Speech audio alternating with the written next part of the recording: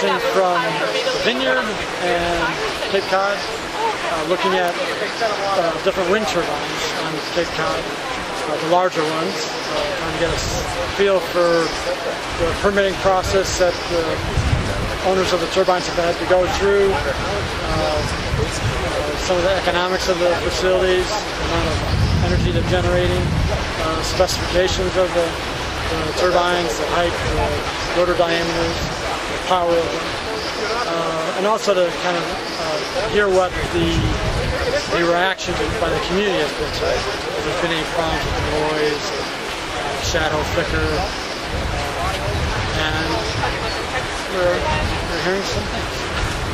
Uh, we're going to look at the, the facility at Woods Hole Research Center, uh, which is a 100 kilowatt machine. It's the smallest of the ones we're going to see. That's my current identity. Um, you can see over there on the porch roof there, on the flat, we got some, uh, oh, probably 8 kilowatts of PV power, and the whole roof of the addition, that's the back that you don't see from the road really, is covered with photovoltaic panels as well. So it's total system size, about 26 kilowatts of PV, which used to be a pretty big number, but it's getting smaller as people get bigger and bigger systems out there. And that, when we opened the building, that PV system provided about a third of the total power of the building, which is a pretty sizable fraction relative to a 20,000 square foot building because we were able to manage to get our electrical loads really quite down far with decent envelope, decent doors and windows, and a decent amount of attention to the mechanical systems that were designed and employed. Um, it's got a ground source heating and cooling system, and um, that, is that geothermal? Yeah, geothermal, and it works well, and it's not without maintenance, and design could be better, I think. Um, it's got a standing column well. So while we're pleased with performance, we're not thrilled with performance. And we've actually just purchased that house next door. I can't see behind this tent, but it's, it's the old carriage house to that building right over there, one of the three old Victorian mansions on the hill. And we just about finished retrofitting that, what they call a deep energy retrofit, which is essentially what this was before deep energy retrofit became this new word. But it's just, you know, if people are actually doing deep energy retrofits, that's an awesome thing because that means you're actually moving in the direction of driving down your loads, your electrical loads, so that on-site renewables becomes really practical, I think. Um, and from experience, we've seen that. Um, so the other two-thirds of the power, we're hoping to have a, a carbon neutral facility here. Um, and the other two-thirds of the power is still coming from the grid. Um, and so we had our sight, our eyes on always installing a wind turbine here. And it took us a while to figure out how much wind there was and to figure out what machine we wanted and how we were going to get it permitted and accepted by the local community. And um, so we finally got it installed. You know, the rotor went up in August. The power finally went on for real in November. And um, it's been cranking away.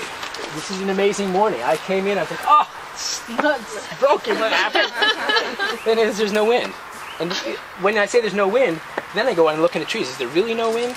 And there's not much wind, and those flags are barely doing anything. So I went downstairs, and no, there's like standby waiting for wind.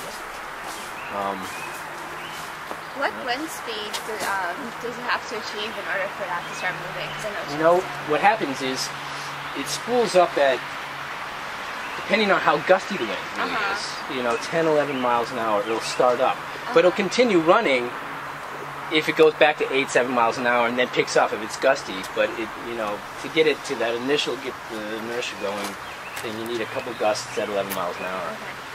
So what are you doing to no electricity right now? Goes, well, whatever's falling on the PV system and going to the panels, going to the building, and the remaining is coming from the grid. And like any grid tie system, both these systems don't operate without the grid. And the grid, you know, that meter that NSTAR provides you is the battery terminal, you know, and that's that's your 100% efficient battery. So it's a it's a good it's a good deal. And we couldn't put up a wind machine like this if we were not grid connected, just because they there has to be some place for all that power to go all the time. And it start on its own, or does it need a little No, it starts on its own. And if it, if like if it was ro- going along, rolling on at seven miles an hour, it's not doing anything other than freewheeling. It's just like a bicycle wheel. It just freewheels along just enough to freewheel. How, when do you have to shut it down if we're going to have high winds? It, you? it pays attention to itself. It does not need human intervention to uh, stop itself, to protect itself. And there are two or three or four ways that that self-protection happens because the last thing you want in a wind machine is to have a runaway condition. And because they're spectacular. Boom. but, um, so there are two brake systems and it's a what's called a uh, what's it called, Megan? The rotors don't turn. Feather? Blades feather. They do not feather. No, it, uh, So it's a stall regulated yeah, machine. stall regulation. Stall regulated machine. And what a stall regulated machine is is that um, how many sailors do you have here? Okay, the sailors will understand this right away. Um, when you're pinching the nose into the wind, you start to stall the boat. That's what stall regulation is. So as the wind goes faster and faster and faster, the shape of the blade relative to the wind speed becomes suboptimal. You're just pinching it into the wind, and that's how it works. Now, lots of other machines have Does everybody understand that analogy? Is everybody getting it? No. Okay. If you want to Yeah. explain it. I'll try it one more time, but um, basically, you can't sail into the wind because it's pushing you backwards. And as the shape of the blade, it, as the wind comes at a longer angle to the shape of the blade, then the tri- boat tries to heel over, but you go forward, like that. But if you start pinching it into the wind, you lose that optimal shape to the blade, and You're so not it getting stalls. right. You no longer get forward thrust because you don't longer have the shape of the wing against the wind. But the blades don't. They don't feather The way. wind is Right. the thing that provides that It's the- angle. But it's the, The yaw also, right? You're yaw because this is a yawing machine, so it's kind of turning into itself so that it's no longer getting full thrust of the wind. No. Yeah. No, no. Uh, uh, this, thinking of a- when, when you look at the dials, Megan, when you look at the dials, sorry, blow- The wind is blowing directly into. On right. onto it, that's what it's trying to do. So it's getting full surface area of the blades. But in order to stall out, it put- wants to put the wiggle change in? that. The wind is going like this all the time. It's blowing from here, it's blowing from there, it's blowing from here, blowing from there. The wind, the, the rotor, the big pinwheel up there, is facing into the wind, and only after a 10 minute change in the average wind speed does it think, oh, maybe I'll go this way. And then it moves that way. only every 10 minutes does it even think about moving. So when the wind is going faster and slower and faster and slower, and let's just say it's blowing 25 miles an hour to 35 miles an hour, and it's going to produce, on average, at 25 miles an hour, about 100 kilowatts. It's going to produce its rated power. But when the wind gusts up to 35 miles an hour, it's the fa- fact that the wind's going faster across the shape of the blade that makes the energy capture suboptimal. It's not the machine responding to this wildly variable directional change in the wind. Okay, so it's different than the other turbine.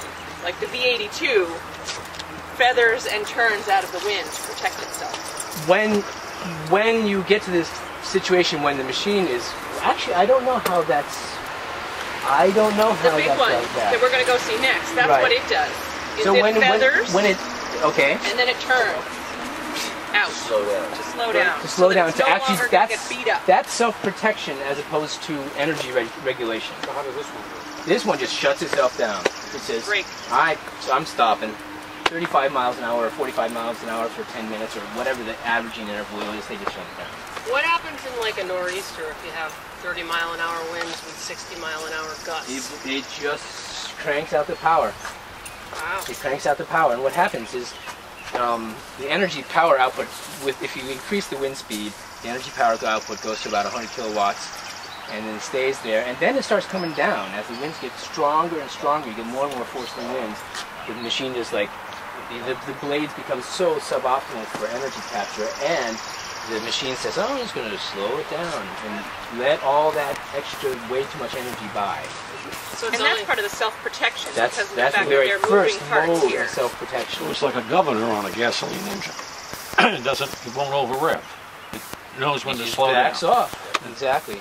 Yeah, I, I don't need all that power. The optimum wind speed is 25 to 35? Around 25, 28 miles an hour. Yeah. And then that that slowing down is achieved by braking in this mileage. No. That slowing down will be well electronic braking in terms of adding load to the generator to slow it down. Okay. You know. But the blades, but because the wind's getting faster and faster and faster, and gustier and less productive, um, they're also seeing a less optimal path across the blade. So it, it's dumping power. The sail is dumping power. But is it at, the, at higher wind speeds? Is it still producing 100 kW? The curve goes up to 100 kW and sits there for a while, And up to about 30 miles an hour, and then it start falling off. That's the- Yeah, and, and the reason it's falling off is because if you think about the, the power inherent in wind, this is a fundamental concept. This is not very good. You need that color Too chalk. soft yeah, for let me us. just a piece of. Uh,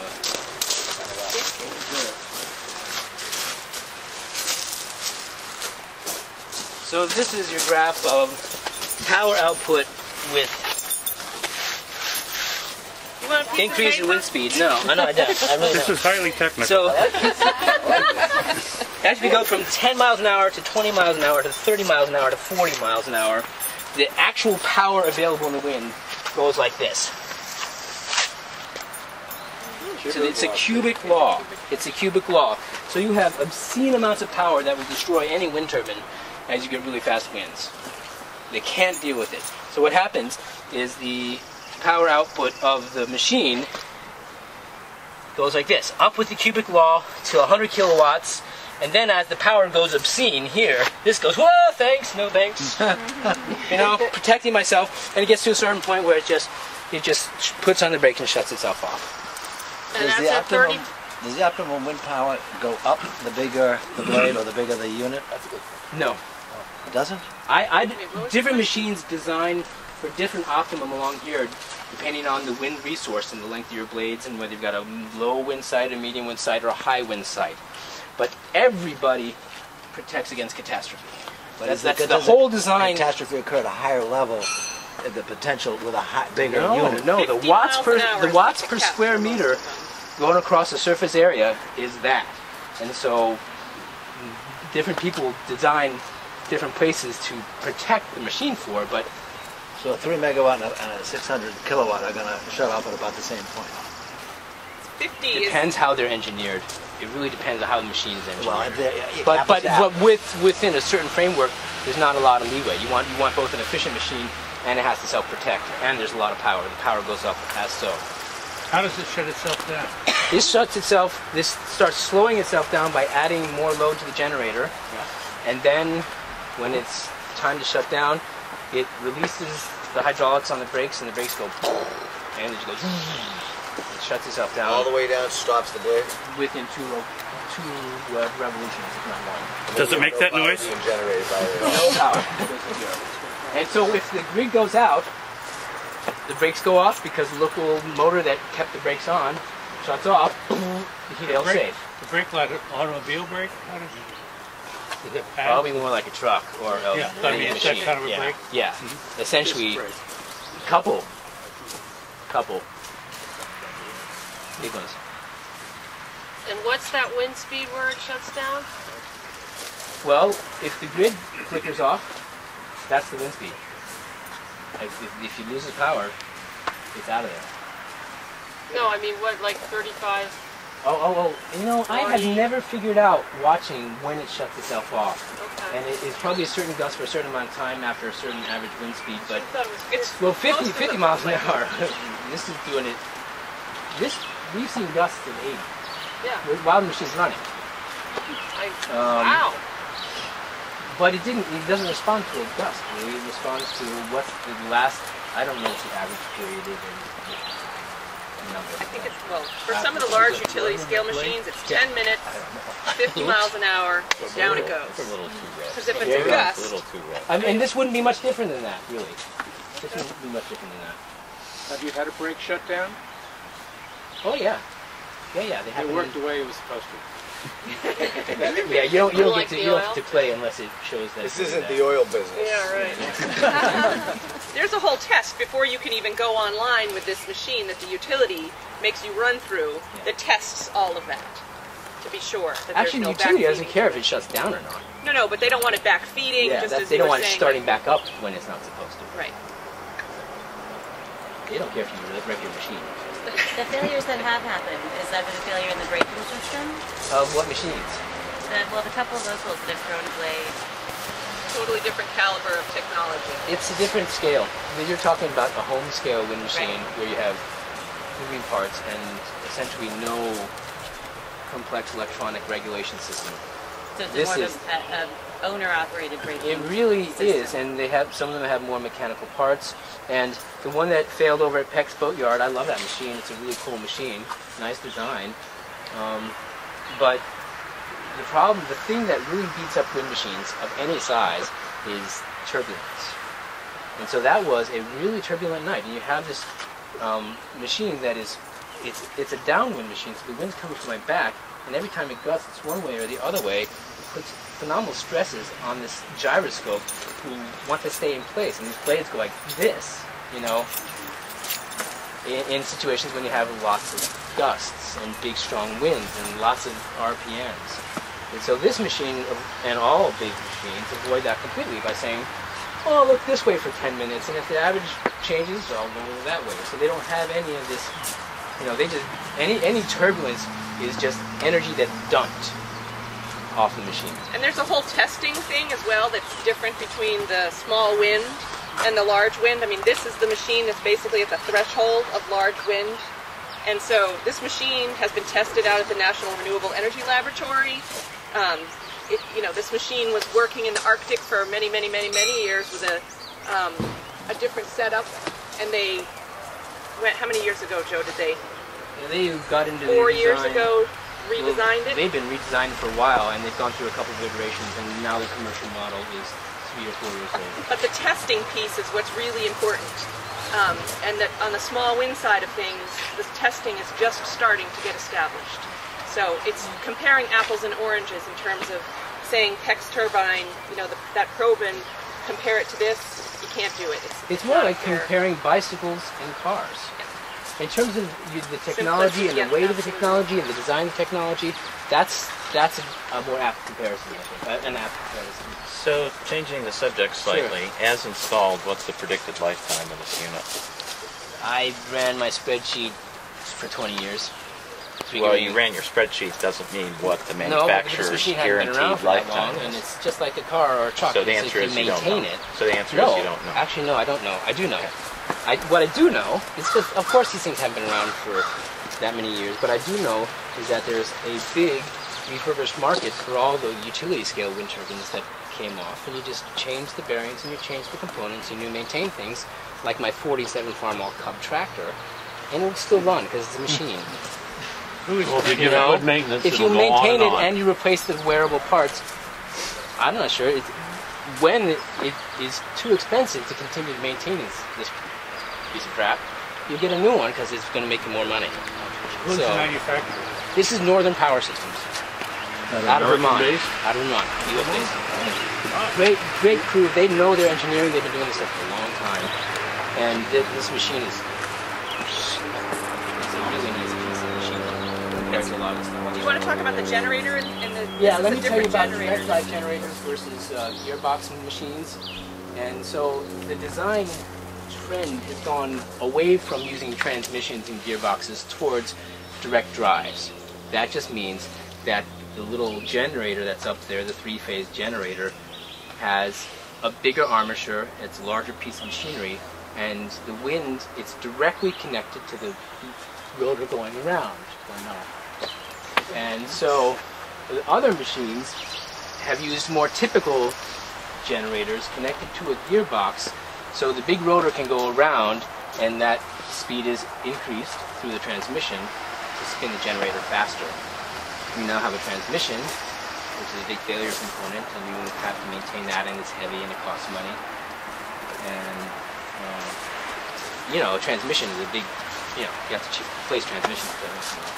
Uh, But in addition to the direct drive component, the other thing that's really important has been the electronic control of these systems. And that's where most of the advances have been made to make machines like this and big megawatt class machines possible is how they're electronically regulating what's going on in, in the generator. How do you get up there and maintain it? On, in the ladder. The ladder? Yeah. Inside? climb up? I see an opening. No. I mean, I've been up and uh, you just got a ladder with safety, safety, you put your safety harness on there and they've got these fall protection systems so if you fall off, have a heart attack or whatever, it'll keep you from dropping all the way bottom. There's just look in, you can look in there. There's just two different platforms where they, you go up the tube, climb up the ladder. How tall is that, Joe? I think it's a. Uh, it's a 37 meter tower. thank you. 20, uh, How many feet is that? Uh, the 125 feet to the, to the rotor. To the to the To the tip hub of the To motor. the hub. Yeah. and it's a 22 meter rotor diameter. What what's the What's it- elevation rate? what is that 21. in feet? 21. 21? that- This is 80 feet above sea level. 82 or something like that. Okay, so this tower normally would have to be a lot taller than These guys make two or three different towers, and that's all you get because tower design is inherently fundamental to the operation of the structural system. I've, and I've learned a lot about that because we, for years ago, tower. we wanted a taller tower, and it took them years to come up with a taller tower. We didn't buy the 25 meter tower because it's not tall enough for around here. Is this their tallest? This is the this is their standard offering now, which is their tallest, 37 meter tower. You mentioned testing before, testing on the larger units, less so on the residential units. Yeah. Uh, who does the testing? Well, the different entities do the testing. Um, there's a there's a big, uh, NREL tested this machine, the National Renewable Energy Laboratory. and they s- tested some smaller machines, but the, it's some of the Danish uh, certification authorities, German certification authorities, who have done all the testing, development sort of stuff, like the like the UL sort of stuff over there that the globe relies on for, Right. for evaluating. Right, in terms of a standard not for in-house. electronics and interface and Yeah, all yeah. that stuff. Yeah. It's not in-house. No, no, no, and you wouldn't believe anyone who did it. Um, I'm supposed to talk about noise, shadow flicker. Well, I was wondering if you, if you could talk about what the local permitting process was for you to erect the tower. Yep. Um, and then, Oh, this is the one and then the, the commission. Complicated discussion. um, and then um, how how it's been received. Yeah. with your. Uh, we're a nonprofit 501c3 educational organization, so we were not technically required to go through the special permit hearing process for the town of Falmouth. Uh, this machine does meet all the requirements of the zoning code, as it's currently written, setback ratios and all that sort of stuff. And so we opted to exercise our rights by state law to not go through a special permit process. But we did, in fact, not stupid, and we have people paying attention to the communications department, uh, cultivate our local constituency for years. And in fact, got to the point where they're like, we're going to put that thing up. But essentially, um, we had public meetings, and we really studied the. It's driving me crazy. It's echoing. Actors like, whoa, whoa. Um, where was I? We really studied meetings. Oh yeah, yeah. We looked at the sound. The, the NREL testing actually tested a previous machine to this one, a 19 meter rotor machine, the, the, the original Northwind 100, and they had some real sound tests that were published, some papers.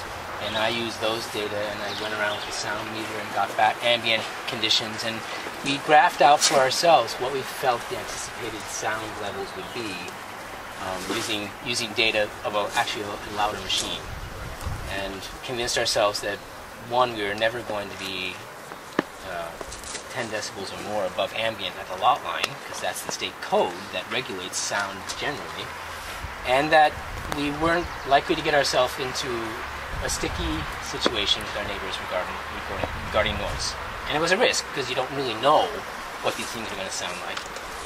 And um, by and large, the community was supportive. You have a couple cranky people who don't like anything, and it hasn't been that loud. In fact, when the traffic goes by and it's pretty windy outside, you wonder if you can still hear it. You know, when a couple trucks go by.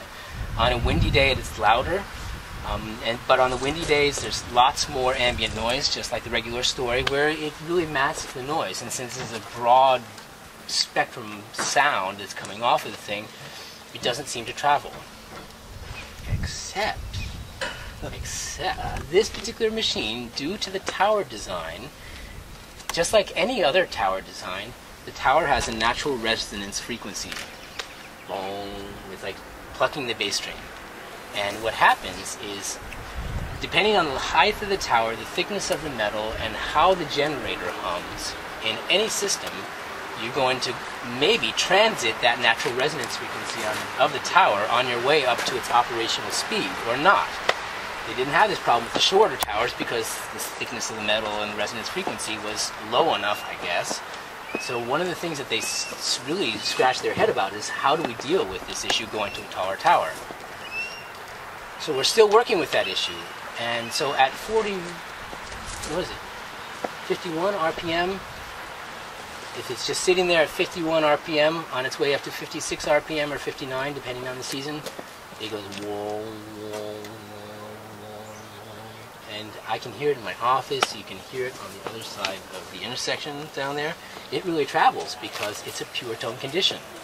I bet it shook you up the first time you heard it. Well, I got some calls. Joe, is is this all right? um, and so, the other thing you're not allowed to do by state code is have any pure tone condition emanating from your property. It's 10 decibels above ambient for white noise, and none for pure tone conditions, because they drive people nuts. They can drive you nuts.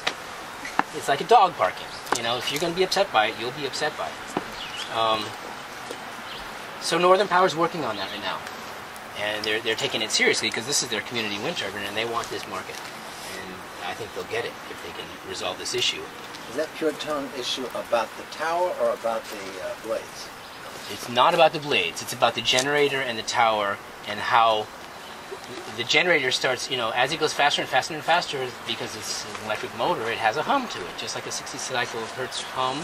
Well, it, that hum goes higher and lower as it goes faster and slower, because the RPMs are changing on the generator. And so you get to this point where the generator starts humming at just the right natural frequency or some harmonic there of, of the tower, and the tower says, "Ooh, I can feel some action," oh and it starts magnifying the sound. It's somewhat comparable to rubbing your wet finger on a glass It's of water exactly that. At just the Exactly right speed, that. the glass will start to sing, and the tower will right. do the same thing.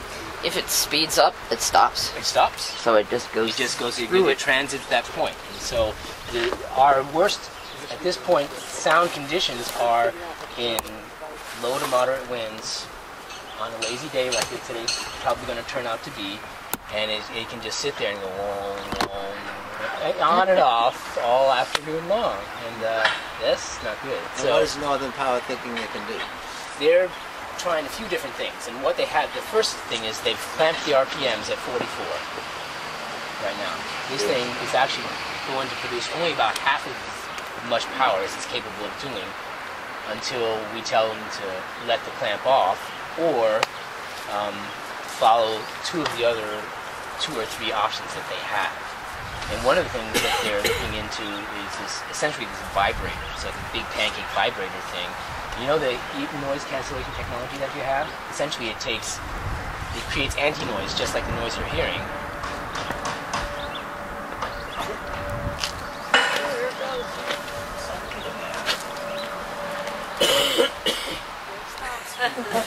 Yep, but you know, it's, it, we're getting in those guest That wasn't bad. Can they connect a- an electric motor to it to give it? So to they get take it that anti-noise area? generator and they connect it to the buzzer, the hummer, and they make anti-hum at just the resonant frequency hmm. of the Hummer, and you put that right in the transmission path, which is at the base of the nacelle there, so the hum doesn't get transmitted to the tower. So that's Does that's this have that's that? a huh? Does this have that? They're working on designing that. Okay. There's actually firms out in Utah or Iowa or somewhere that make these things for uh, trucks and ship hulls and big mechanical equipment. And helicopters too. I would believe that. I would believe that because you don't want stu- stuff getting critical with helicopters. So hopefully they can add that on to this. So that's one of the things they're looking at adding on, and they're also um, working on a way to the generator because they're electronically controlling the generator. They can change the amount of current that's being drawn from the generator. And I have my electric hub motor on my bicycle, and if you hit the throttle hard, you know you can hear it go. And actually, if you're going too fast down a hill and you you can feel the hum of that motor, but if you add a little throttle to reduce the amount of current going in the motor, it backs off. So electronically, they can back off the amount of hum that's generated when it's transiting that 50 mile an hour, 48 to 52 mile an hour period. So they're working on that software control, which sounds simple to describe and complicated to do probably. And I think they got another option. So I think they're, they're pursuing all of them because they want to come out with the full package and not do something lame and not working repeatedly after another. So I figure that'll take them a few months to work out at least. Um, you think they could have an electric motor that got it past that place, like like any like the way you have they an can they can house? spool up this electric motor. The- What was that? They they can use the generator as an electric motor. They can in fact flick their electronic button and spin this guy up to speed if they want to. Okay. They have the capability of controlling that. It's all done with programs and software. Just to get past that zone. But let's just say you're sitting all day long and it's just that wind speed, and you want to both have effective hour output and no sound. You want to, you might want to operate it there. So yeah. it's I, more than I can figure out. A couple of places it doesn't work. Nothing. Year and two months. So um, shadow flicker does not exist for us this time of year, but in the spring and winter and fall, the, the shadow goes right across the front of the building. And when we first got this thing up, you know, going in November, everyone ordered shades for the front of the window. I mean, we had we have the, the shades for the sun, and they ordered darker shades. And so if you put down the darker shade and you turn on the light inside, it becomes not an issue. But the first time I walked down the hall, it was weird. You, you see, see those the second floor, all those uh, they call windows. You know, in the offices, and the, the light goes flood, floods into that hallway right behind those offices, and the sh- flicker goes across the front of the building. Like, wah, wah, wah, wah. So it was like a strobe like effect down the hall. It was really startling. So um, shadow flicker is real. How long would it last then again? It depends on the Time of year. where, like the wind direction, whether there are clouds in the sky. It's there's a lot of different factors that come into play. As it transits the face of the building, I think Yeah, it's if it's a about sunny day, 45 minutes time 45 across the face. And then you have all these additional factors of whether how hazy it is and, you know, um, cloudy and, and the direction of the, you know, how it's facing. Those all affected. Did you guys do a, um, a study of that? A, an analysis that showed Greg, like during Greg put together a little uh, sketch up for us, and uh, that was that was interesting. What's really startling is how far that thing reaches. And this time of year, it's great because there's trees around here, and no one sees anything on their houses. But when I go home and the wind is headwind, the uh, sun is over there setting, and I'm bicycling down Woods Hole Road, the re- flicker reaches right across Woods Hole Road to the other side, over there, and it reaches Mrs. Fay's house over there in the spring. And so we actually turn it off at this point in time every morning at between 7:30 and 8:30 for certain months of the year because the, sh- the leaves are off the trees and they're falling on her kitchen table. Literally. Had you heard from your neighbors? Sorry? Had you heard from your neighbors? We heard from Miss Fay. Has there been any, any complaints from drivers on the roads? No. Um, that doesn't mean they don't complain. There was complaints. Because they might see it just as they drive by. You know, I think when you're driving by, the flicker of the trees on the road, you you know, you are constantly seeing stuff. And, and it's, if you're in one place, it's when yeah, you feel. if you're this- driving you know. toward it, then you're in it for. in for- I don't know. It's, Well, the road is over there, and it only touches the road for 10 minutes a day, maybe so, in one spot. Right, during certain Mm. times of the year. Yeah, So that's right. Yeah. But it's something not to think constant. about in placement. Uh, Um, you, yeah. You do want to think, especially if you're going to put a lot of them up, big ones, you know, that can reach far. Um, Hard to see with the trees leafed out, but uh, can you tell us where the nearest abutters are and how close, how close, how close this is to the property line, how close this is to the nearest abutters? it's about as far as the fall down radius plus 10 feet to the property line that way. Um, the nearest abutters, you know, there's 300 feet over there.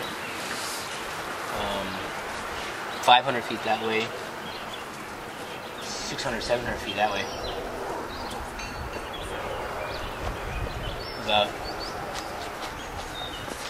And it, so the, the further away it is, the less time of the day and the year that's going to see anything. Because that's the sun transits the path, you know, you've got, it comes and goes sort of slowly relative across the face of the building, but then as you get further and further out the arc, it's moving faster through time, so there's less minutes of exposure. So, but not just for shadow flicker, just uh, whether it's noise, whether it's just sort of the sense of the presence of the of the turbine relative to their property. Uh, ha- have you heard anything from the 300 foot abutter? No. It's a renter. A rent, it's a It's a renter. You know, it's a renter of a nice brand new suburban house, but it's a renter. Um, when you ask about that for shadow flicker or noise or general aesthetic presence on, on the neighborhood, those really are three distinct questions, I think. Um, in terms of the noise, it drops off six decibels every doubling of distance. That's the rule, and that's what really works, unless you've got weird atmospheric conditions, uh, which are pretty rare. Um, in terms of aesthetics, this thing is a profound aesthetic when you're looking up from the road. But you go around the corner and you're like, you can't find the thing for the trees. So it's it's a highly locationally dependent sort of thing. Um, Flicker is easy to describe with with you know little software tools that are out there to do it, and and a topographic map. And the only complicated thing is coming up with the topography of the things that are affected, like all the buildings. So um, Google SketchUp for people who know how to drive that thing um, is a really useful tool because they actually give you a, a sun in the sky and they do shadows with it. So uh, you can do a lot with SketchUp.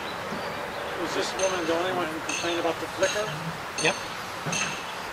And it's on her it's on her kitchen table when she's having coffee in the morning. so, I mean, it's, it's, a, it's a pretty specific condition that doesn't happen a lot. But if you're, if, I mean, you better have the owner right there of the facility. Or you better plant some trees, tall ones. But, I mean, you know, a hedge will knock out something completely. What have you learned about flicker over distance on the water? That's a, you mean bright flicker as opposed to, Well, very few trees. Uh, which- so what you happens? talking when- about shadow flicker you talking about light glinting off the blades? Well, they're two completely separate things. Yep. So you were talking about shadow flicker. Yep. I mean, is it a problem when something's four miles away over a reflecting surface? when I've been out on a sailboat, sailing around here, and it gets to be dusk, and there's one window pane that's me Yeah. in the eye from Martha's Vineyard. Yeah. It, I really notice it. You know, it's a big thing. It's pretty amazing that that happens. Um, and that's a surface area. That's a big pane window of some sort, reflecting at you. Um, this thing is turning, and it's not a full surface. You know, it's parts of a curved surface that are reflecting. And so I don't, I haven't really experienced any the wind turbines. part you can deal with with materials and paint and that sort of thing. Uh, that's not. I shouldn't be an issue. I, I just think it would be so rarely to be an issue and so temporarily, I mean, trivial compared to all the amount amount of time that's out there. I mean, I think you get a lot more exposure of damaging stuff from just driving your car and looking into the rear window of the car in front of you during those conditions. So, I, I don't think it's much of an issue. I observed bright flicker one evening going back on the ferry to the vineyard from, I don't know if it was this turbine or one of the others. It probably would have been this one. I would have thought so. Yeah, because it's the closest one, and the other ones would have been. And it was amazing. It was very bright. And how how And it was a many seconds did you endure that? Um, don't really know. I mean, it A was minute? probably it was probably more than that. It was quite some time. It Okay. was it was evening, and you know you're going out on the water, and I thought to myself, well, that's interesting. I'm glad to see that. Right. And it doesn't certainly bother me with one, but it certainly would affect me if it were With the whole field of them. 130. Sure, and The sun that's, that's another very low. You know, what kind of installation are we talking about here? That was Yeah, right, exactly. that would only happen when the sun was very low. And the wind, Right. and the machines are adds a facing a certain- certain way. Yeah. You know, So whatever material is on this now is not doesn't take care of that. Right, but if that was an issue, you could, You could could the mitigate. reflective part can require be that. mitigated. make the The- blades the black. The shadow flicker is completely different. you know, Right. you know. They painted the blades of this one black over at the uh, automotive tech school on 95. There, it's bad looking. Yeah, I don't think Bad black is a. Well, they did it up on Searsburg too, and that was for Yeah, for ice issues. right. Right. We don't really get icing around here. So, oh, and I think they did it there because they had a parking lot. It was right in the middle of a parking lot, and they didn't want ice, want ice falling on cars. Once a several year ice event we get around here. Do you have problems with ice falling here? Unless you get an ice storm, no. And what happens is they, these things s- just turn off when there's ice on them because they've got accelerometers on the thing. So if things are not, they, they just shut itself off. And turn There's it back some on. sensors for the weight of the blade or something. If the blades are ice coated to prevent from starting. What up. happens is that as the blades get more ice coated, they lose lift. First of all, they just start slowing down, and then if there gets to be any imbalances of different weights of ice on different blades, then you the accelerometers turn the machine off if they're shaking in ways the system is shaking in ways that it should be shaking. The thing that's not the end of the world if the thing shuts down, you're saying it has a 20-year lifespan, that it's only getting worn out while it's being used, so they have to shut it off for a couple hours. That's not. You don't still care. use it for a couple You hours want this more. thing to be protected in every way that it can. It's a big investment. It'll last long. Yeah. And, you, and whenever it's moving, you get your benefit. It's not you're waiting for benefit. That's right. I like that perspective. If you had to start all over, what would, would you do anything different? Uh, not for this machine. I mean, these computer people keep adding these pizza box heaters in the basement. I mean, big time. We're, we're going to supercomputing in a little corner of our room over there, and that's blowing our energy budget. It's really hurting. You know, we're, we're just now sort of carbon neutral, but if these guys keep at it, it's, it's not only the computers. The computers half the problem. The other half of the problem is the heat the computers generate that you have to then cool. And these, these are fussy, expensive machines, and you can't let them overheat. So What is Falmouth's uh, setback? You didn't need to go through permitting. but What's it? it's a fall down radius plus 10 feet. So the whole kit and caboodle to the edge, tip of the blade has plus 10 feet. What do you think of the, the state? I think the state has a guideline of three lengths. Guide. Three lengths? I think I've heard that. from I the don't- model from the state's model. Yes. I can't believe that. I, I most Three of the times the rotor diameter. towns have their own. I would, I would. That's what MTC told, told me. Okay. We were talking about it. It, it is, it is a town by town regulating sort of thing, and the state can't really override local zoning. It's just a. Yeah. But most of the towns, at least on the Cape, have been revising their their bylaws, and that's a very typical one. Is the Yeah, the tip of the blade about the plus 10 standard, feet. I think. Yeah. Their concern, I think, uh, when I asked them, was they weren't concerned about it, it falling and hurting something. They were concerned. They said you- you need the three as insurance against a noise problem. Against what? A noise problem. Insurance against a noise problem. And, and there's there's merit to that, but there's it's the six decibel with doubling of distance, sound decrease. The, the length plus 10 feet would seem to be the minimum. Oh, I, I mean, you don't want can- people killed or you know falling on someone else's So that- property. yeah. That's the minimum. that So what happens is with this when we did the um, Eladio Gores, our uh, I'll get to you. Uh, building inspector guy he approves all the building plans. So we went for our building permit, we had to show all the structural stuff and all the engineered stuff, and he was like, "They're gonna fall in that building or not?" And we were like, "Well, our insurance company doesn't care." He says, "I don't care what your insurance company says." So he he was happy with the fact that the nacelle would just clear the porch. You know. But- but- so you know, blades, a couple up there. You know. But uh, I thought some of the concerns about safety is not so much like if it collapsed, if they collapse, they don't necessarily collapse like that. They sort of crumble more, but Yeah. it's more. Uh, recently, it's the blade throw and uh, either ice or or the if there's a collapse condition, that the blades themselves will uh, will fly. And they're lighter blades, and they will fly perhaps longer distances than they had in the I past. think lighter blades, in my mind, are like pieces of sticks flying around in the storm. When you talk about the, the, the machine that's up at Falmouth Academy, the 10 kilowatt Bergey, that's a piece of fiberglass. You know, you got all kinds of stuff flying around in a big storm. When you're talking about failure of one of these, it's it's a catastrophic situation where if those pieces of fiberglass started flying around, I wouldn't want to be around. But I likely wouldn't be around because it's such a big storm, I'd be cowering in my basement. I think. really, I mean that's that's the difference between you know a Bergey or you know a Proven that flies apart in a in a coastal storm, and these guys which are designed for 150 miles an hour. It ain't be nothing standing around here if we see a 150 mile an hour storm. It might be the only thing left standing, unless you have a catastrophic mechanical problem where you have a runaway machine, which is the ultimate design condition of all the whole industry is organized around not letting that happen. Just like people are organized not letting planes fly out of out of the or not that oil spills happen. Exactly. But, and, And so it's just and the magnitude of the ra- they're rare, but they do happen. They're rare and they do. Yep, and if this fails in the biggest way possible, someone might get killed. Someone might get killed. So it's, it's a But if proportion you of look- benefit relative to the. If you look down the hill at the end of your driveway, there's a 36-foot tall pole with a high electricity on the top of it, and if it fell, People are several running into people that might stuff get all the killed. time. They keep hitting that thing, killing Yes. themselves. I swear. How, how's the economic model work out? Projection for what you thought you would have made? So far, things look really good because we had a great winter.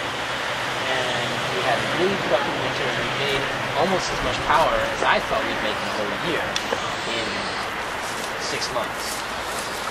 So. Even running at half speed. No, it has been running at half speed. We, we turned on the half speed clamp a few weeks ago because we, we're getting into the open window time of the year when the winds are modest and going to do a lot of the humming sort of stuff. It really wasn't an issue until we got the low wind speed season. And warmer earlier. Warmer, yeah. So, So, is there one last question? Have you had any? Uh, have you noticed any problem with bird strikes or anything like that?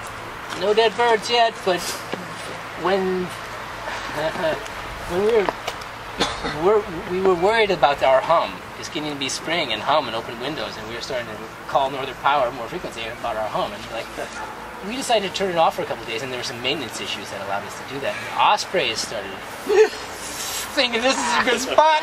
Yep. so that's why an owl is up there because Lisa, who's a naturalist, is like, Fred, get an owl up there. You know, One red spot is enough blood. One, one blade. I hope not. Red spot. No, actually, it's a, it's, it's, it's a point, a little arrow that points which direction the blade should go. How about lighting? Do you have much lighting on it for nighttime? So no, it's not not 200 feet, so it doesn't require FAA level. Oh, Yeah. Joe, how far down does the slab go? As tall as me? Okay. Yeah, pretty much. It's a big plate.